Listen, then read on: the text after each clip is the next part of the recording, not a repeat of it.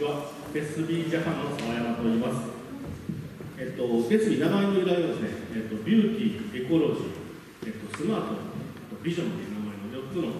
頭文字から取っているブランドです。2014年に、えっと、台湾発のブランドとして、えっと、生まれております。日本には2017年からスタートしておりまして、まあ、今までにないような、電話数字の、まあ、デザインと性能と、あと価格を追求したような、ブランドになっております。よろしくお願いします。はじめまして、えーと、正解株式会社の松森と申します。えっと、弊社はですね、あの今ご紹介にありました通り、電気に関する事業をやっている、えー、会社となっております。で、その一環でこの電動キックボードをですね、開発しておりまして、ゆくゆくはこのキックボードを通して充電だったりとか電気を持ち運ぶ、そういった未来を描きながら、えーと、まだ誕生したばかりの会社ですけれども、やっていきたいなというふうに思っております。本日はですね、あの安城市、えっ、ー、と、来ましたので、え、神谷市長もいらっしゃるので、まあ、あの今回はですねあのサイクルフェスのところで最新の事例とかもお聞きしながらお話しさせていただければなと思っていますのでよろしくお願いいたします。はい、えーと、今、まあ、一般的に日本だと電動アシスト自転車という表現が多いと思うんですけども、ま、通常の自転車に、えーと、バッテリーとセンサーとモーターをつけて、で電気の力で走ってするっていうのが乗り物で、えーと、日本は、まあ、いわゆるママチャリの文化っていうものがあって、まあ、それ海外でママチャリって通用するんですが、日本特有のあの自転車文化ですけど、皆さんママチャリって言いながら、まず日本の自転車文化が理解それでいうと、日本のママチャリ文化っていうのが、移動とか運搬を目的としているものであれば、サイクリングを目的としたもの、それに電気のユニットをつけたものを e バイクと思ってもらった方が、外見的には理解しやすいのかなと思います。なるほど、あとママチャリの e バイクの一つではあるけれども、そうです、あの電動足のじいさん、日本語で、e バイクは、まあ、英語ですね、エレクトリックバイシクル、これを略したら e バイクというんですけども、まあ、あの e バイクというくくりの中に、日本特有のママチャリのような電動足自転車があるというふうに思ってもらったらよくて、日本が、まあ、電動足自転車が25年、30年前から普及している目的の一つには、まあ、高齢者の方とか、ママさんの子供の希望とか、買い物の足としてっていうものが多いと。思います。で海外はもっと違って自転車のサイクルとして楽しむっていう文化がすごく根付いてますのでそこに電気のユニットをつけてえより軽く山の中を走るとか、えっと、レンガの道も多いですからよりあの快適に、えっと、スポーツライフとしてのサイクリングを電気とともに楽しむっていうものが、まあ、マーケットとして広がっているでこれをいわゆる e バイクと言われていて日本にはそういった文化がなかったものが、まあ、最近ここ5年6年海外からの輸入だったり国内のメーカーがいうサイクリングの機能、スポーツ自転車としての性能を落とさないまま、電気の、えー、ユニットっていうのをつける。これが、まあ、いわゆる e バイクというカテゴリー。そういうふうに考えます。そうですね。これも非常に見た目コンパクトなんですけども、えー、と前にサスペンションがついていて、後ろにもサスペンションがついてますので、えー、これダブルサスペンションですね。加えて、えー、と変速機ですね、後ろのギアと、えー、これ中段変速がありますので、通常のスポーツバイクと同じような走行性能、あと軽さ、これフレームがカーボンできてます。軽さや標高性、そういったものを持ちながら、バッテリーと後ろのモーターで快適に走行するというような快適にね、本当に乗りそうですけど、結構スピードも出るんでしょうか？えっとまあ、日本の法律で、え、時速24キロのしか電気の力でシステムしませんと決まってますので、そこから先はあの乗り手の足の進捗次第というところです e バイク、私もあの電動キックボード作ってますので、かなり気になっているので、今回あのいろいろお話しさせていただいて、あの情報交換できればいいなと思っております。はい、なります。あの多分あの説明が専門的すぎて理解するのにこううんうんって思ってらっしゃった方もいると思うんですけど、もう海外って自転車イコールスポーツなんですよね。そうなんです。あの私たちみたいに移動手段ではなく。自に乗るイコールスポーツをするっていうことなのでツール・ド・フランスとか聞いたことありますかね？あります。その自転車でこうずっとロードバイクで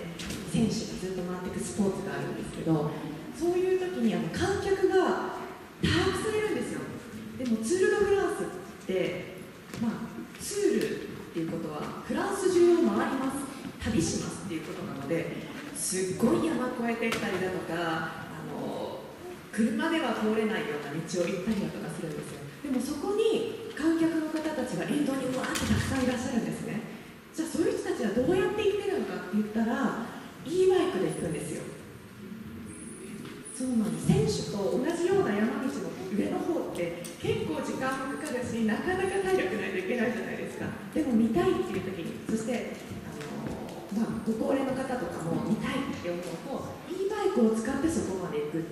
で皆さんのスポーツの一環として e バイクが常に隣にあるっていう感じなんですね。それを日本ではあの私生活の中に入ってるっていう感じで皆さん普段カゴのついたような e バイクを乗られてるって感じなんですけどベスビーさんのは今あの説明にあったように前にサスペンション後ろにサスペンションってサスペンションってあの皆さん車に乗られた時にいい車だとガタガタ道でも動かないじゃないですか。それでタイヤがこう吸収してくれて自分たちは動かないでいられるんですよね。それがサスペンションの役割で自転車にもそれがついてる。なのでガタガタ道をこう乗ったとしても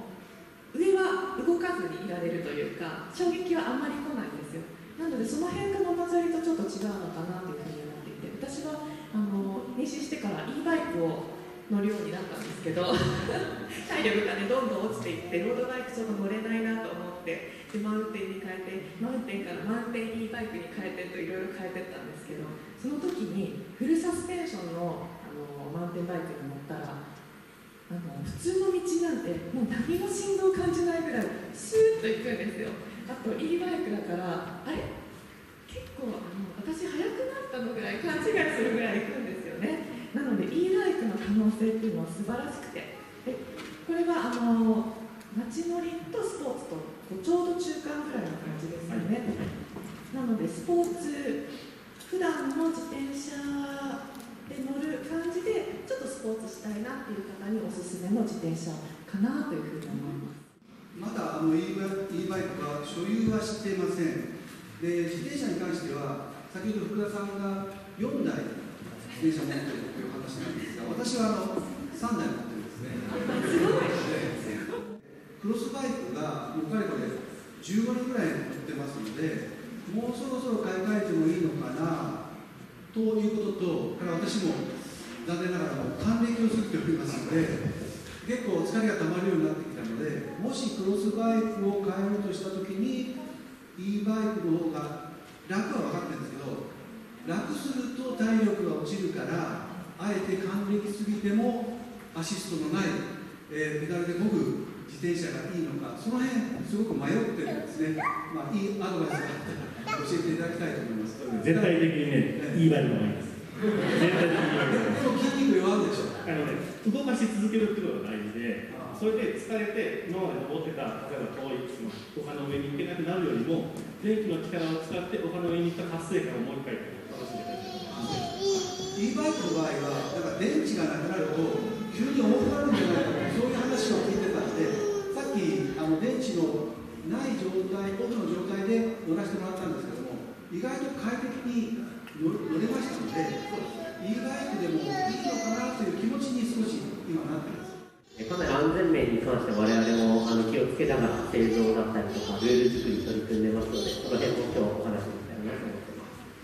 安安全面は多分あの素晴らしいと思うんですよ、このプロダクツは。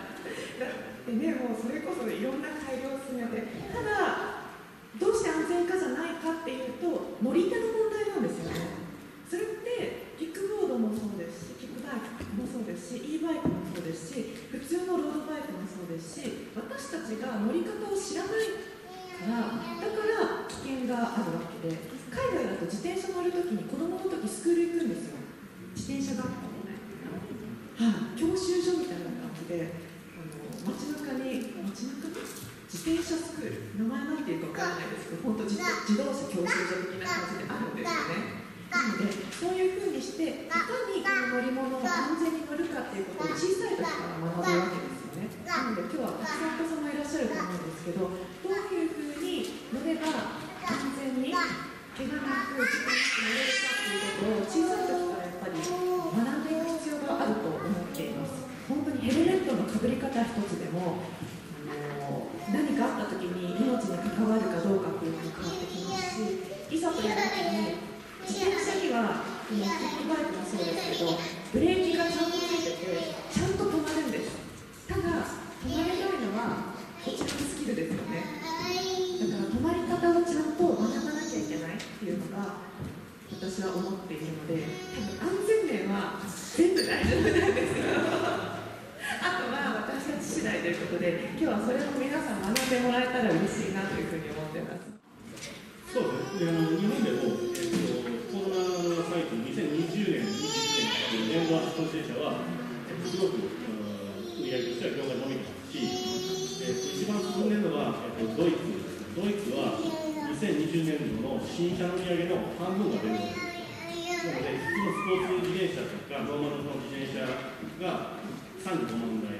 台、あ、違う、100万台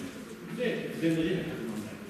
年間出てる自転車の中でそのだけ半半比率で出て世界なので、まあ、この比率まで日本はこの後伸びるんじゃないかなというのはと言われてます。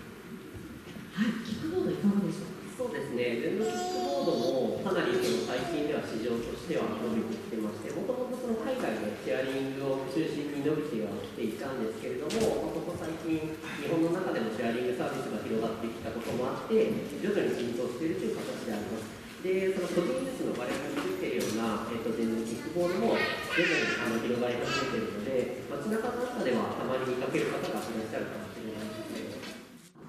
そうですね、まあ、さっきもあの言ったようにあの私たち乗る側がちゃんとそのプロダクツを知ってどういうふうに安全に乗ったらいいかっていうことを知ることが一番大事かなというふうには思いますあとは日本も海外のようにサイクリングロードとかねあのキックボードとかの道がもう少し大きければいいなというふうに思います本当オーストラリアなんてすごいですよあまた長くなっちゃういいですかその通りの、その通りだと思います。ください。オーストラリアって本当自転車結果で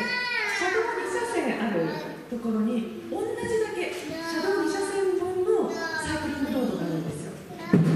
だからそこでもう自転車とかは走ってそれとプラス歩道もあるんですよってなるとやっぱり安全ですよね皆さん乗る場所が分かってるからだから日本でなかなかそこまで行くの今から一から帰るの難しいけどそうなったら嬉しいなとは思ってますどこも良かったですよねそれぞれによっていいところがたくさんありますよね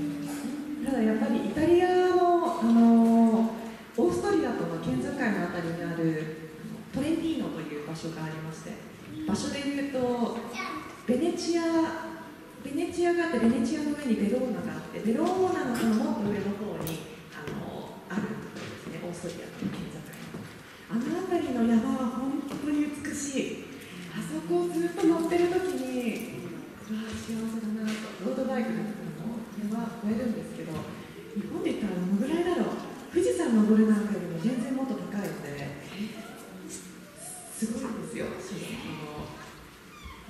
選手たちが海外のロードバイク選手たちもそこで合宿するような場所でただ苦しいけどその先には本当に絶景が広がっててうわ人生でこんな景色見られるなんてって思った経験がありますね、福田さんは半年今日初めてお越しになられたばかりで、よくご存じないんでしょうけど、私たちの明治緑道を走られれば、世界で一番素晴らしい街ってここかなと思われるかもしれません。ちょっと走れるんですよはい。ぜひもうこれは行くしかないですね。ちなみにアンシュランスは山はありますか？何もありません。じゃあ今今ちょうどいいかもしれないです私そうですね。あのデンマークもほぼフラットなあの地形でして、まあ、そこら辺もあの人よく似てるのかなというふうに思います。で、まあ、この辺は市街地ですけれども、ちょっと南に向かって、えー数キロ走れば、もう田園風景が広がっておりますので、あのまたお子さん連れでぜひお越しいただきたいと思います。産後のあのライドは安城市にしたいと思います楽しみですね。来年ぜひ。自動操縦ですか、えっと、我々がその考えてるのは、よくそのテスラとかだと車であの自動操縦になるんですけど、やっぱこのキックボードタイプですと、かなりその安定性とか、そのふらつきを制御するのが難しいので、キックボードですぐにっていうのはちょっと難しいかもしれないですね。ただまあ将来的には、まあ、あのどんどん機能開発とかも進めていく過程で、そういう自動操縦で、もうただ乗っているだけで、まあ、次の目的地に着くみたいなことが本当に理想ですよね。イメージだけですけど、できなくないんですただ、例えば転倒しない自転車っていうことを考えたときに、中にジャイジャイロセンサーが仕込んであって、左に傾けば右に舵を持っていくみたいな仕組みが多分できると思います。ただ、自動操縦そうですね。なるほど。車とはちょっと違いますからね。ということで。そうですね。非現実的なことを言えば、あのすっごいコンパクトにちっちゃくなるとかね。小さくなるもう折りたたみとかのレベルじゃないぐらいちっちゃくなるとか。ちょっと大変です。でもそれだったら最高。ドラえドラえもんの世界ですよね。たくさん乗っていろいろ移動するんですけどそれだそれだけがもう武器も多いしって思うんだけどでも現実的なことを言えば自転車こぐじゃないですかでこの回してるあの動力で電気を蓄えておいてお家の何か電気に活用できたらいいなってまあソーラーのパネルじゃないですけど何かどこかにつけておいてあのじじ発電ですね自分で発電するみたいなことができたらすごくエコだなと思います。例えば今実際あるのは、例えば下り坂のブレーキを利用して回生充電するとかっていうのが実際あるんですけど、その時のその充電効率っていうのが、まあ、今のコストに合わないと言われてて、まあ、採用するのは、まあ、1社、2社採用してますけど、なかなかやっぱりバッテリーが、あのモーターが大きくなりすぎたり、重量が重くなりすぎたり、コストが上がる割に、じゃあ、そのえっと回生充電で充電したものを蓄電効率があまり良くないので採用しないといけないんですけど、だけど、バッテリーの小型化、充電器のモーターの小型化っていうのはやっぱりメーカーもずっと模索しているところなので、そういった意味で、トータル的な、えっと、軽量化とか、コンパクト化っていうのはまだまだあると。例えば、ああいうそのスポーツバイク、いわゆる今、大体50キロ切るのが当たり前で、6キロ、7キロの世界っていうのが、いわゆるスポーツバイク。そこに乗っかってくるのが、さっき言るこのバッテリーとモーターと中のコントローラー。ここがどうしてもまだまだ重いので、例えば今、リチウムイオン電池で、今、まあ、車もほとんどリチウムイオンですけど、トヨタが水素電池を作ってたり、いろんなその二次電池っていうのが今開発されているので、その中で、やっぱり費用と、えー故障しないっていうのが、燃えないっていうのが一番大事だと思うので、燃えなくて、これが金額100万円だと誰も買わないので、やっぱりこれがある程度、市販の価格に釣り合うような技術革新がありくなれば、まずここを軽くする。モーターはまだまだ軽くする可能性があると思うので、やっぱり一番はバッテリーっていうところが、これは自転車屋さんだけの技術でこれで、まあ、テスラが頑張ったり、パナソニックが頑張ったりして、より軽いバッテリー、えっと、iPhone のバッテリーはまだちっちゃいですけども、あれが自転車使うので、大容量で、かつ、うんコストがあるっていうところの技術があれば、軽量化はできる。ただ、自転車自体は、こういうスポーツバイクのものと、お母さんが乗るアルミの自転車っていうのは、お母さんが乗るやつは、もっと何よりできます、子供を乗せて走行中の段差でブレーキに指がなったら、やっぱり何よりも危ないので、やっぱり日本のママチャリっていうのは、えっと、やっぱり価格も安い。価格も安いけど、量産ができているということで、アルミフレームがめちゃめちゃ強度が強い。なので、そこはまあ安心して、今は重いけど、ママチャリは乗ってもらってもいいな。安全面ということで重くなるフレームを折れてはいけない。でメーカーとしてはフレームが折れるというのが一番避けなければいけないので、えっと、日本だと今ね、大手3メーカーありますけど、あそこはすごくやっぱりフレームには慎重に設計をしてますから、えっと、車など使わない限り、基本的に折れることはない。まあ、すでにあるものなんですけど、あのエアバッグ方式のヘルメットってありますよね。はい、デンマークの。あの首に巻いておくんですね、マフラーみたいに。で、何か衝撃を受けたら、このここがぶわっと空気入って、頭全体を覆ってくれる、まあ、そういうエアバッグ5万円ぐらいですか、5万円ぐらいするのと、再利用ができる。あ再利用が1回パッと膨らますと、もう一回使えないので、その5万円は万が一万が一5万円なので、間違って落としちゃって、開いちゃったら、もう5万円パン。そうなんですそそこの部分で、えーやっぱりあのヘルメットかぶるのは、それが一番安全なんですけど、ヘアスタイル気にされる方見えますでしょ、これ嫌だなって、でも、自転車を皆さんに使っていただくためには、首に巻かれてね、あの危ない時だけぶわっと頭を覆ってくれるものがあると、もっともっと皆さん、自転車に乗られるかなと思うんですね。ただ、それもさっき言われたように、誤作動が結構あるようなので、そこら辺が正確に作動するようになれば、もっともっと普及するんじゃないかなと思うんですね。あのうちで度ブースにちょっと可愛いヘルメット置いてあるので、ちょっと見に行ってほしいんですけど、ヘルメットもやっぱりこれ高いんですよ。一般の人が万が一のために5万ってなかなか高いんですよ。僕らがイメージするのは、いいヘルメット、可愛いヘルメット、かぶりたくなるヘルメットっていうものがあれば、まあ、日本でも増えるんじゃないかな。さっき今のもおっしゃってましたけど、外国の人でヨーロッパの人ですけど、ヘルメットなしで走っていないんですよ。でこのくらいの文化、情勢ができているのが、日本と全然海外と違うので、ヘルメットが買うのが当たり前っていうふうになってほしい。思いあごめんなさい電電動キックボードもあのヘルメットはマストにあの我々の方で販売するときも必ずヘルメットを取り付けて、一緒に売っていってっていう形ではやらせてもらってますね。マストになってるんですね。今日お持ちいただいている。一応この、えー、とキックボードの原動機付き自転車になってますので、ヘルメットをかぶらない人は走行ができないというモデルになってます。なるほど。それとね、あのメーカーさんのコマーシャルするわけじゃないんですが、今日はヘルメットメーカーの加藤さんが、あそこにブースを設けておられまして、先ほど確認したんですけど、ヘルメットって、こういう鉄カブトみたいなヘルメットばっかりじゃなくて、今はあの帽子のキャップみたいな布地をかぶせたかっこいいヘルメットもありますし、またあのツバーをぐるっと回したベレー帽風のヘルメットもありますので、結構今、おしゃれな方向にも展開してますのでね、ぜひご覧いただきまして、あのおしゃれなヘルメットをかぶって、また街を自転車で走っていただきたいと思います。